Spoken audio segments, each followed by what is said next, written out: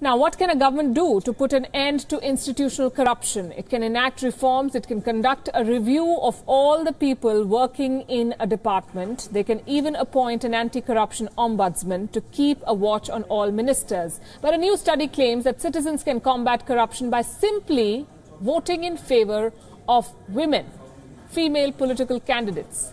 What is this report about? Take a look.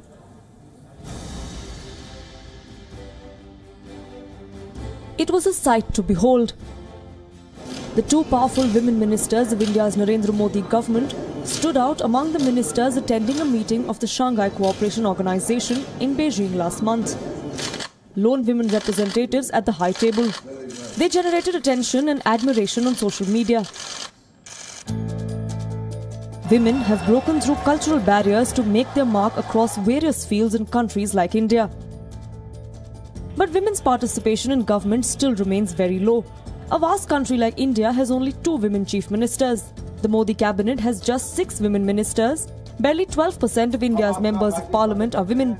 The number of women representatives in Indian parliament rose just 1% between 2010 and 2017. A campaign to reserve 33% of seats for women in legislative bodies in India is more than two decades old now. The debate has caused considerable friction inside the parliament. And quota for women in legislative bodies remains a dream unfulfilled in the world's largest democracy. Cut to Saudi Arabia, where women are taking control of the wheel for the first time, fighting age old prejudices. They have finally made it to a stadium to watch a game of football. Their participation in governance, however, still remains a far cry in the ultra conservative Islamic kingdom. Perhaps Crown Prince Mohammed bin Salman, who recently unleashed a powerful campaign against corruption, should pay heed to this new report. A study published in the Journal of Economic Behavior and Organization says that men ceding control of the levers in power is good in the fight against corruption. The study, which analyzed data from 125 countries, says that the greater the representation of women in government, the lesser is the chance for corruption.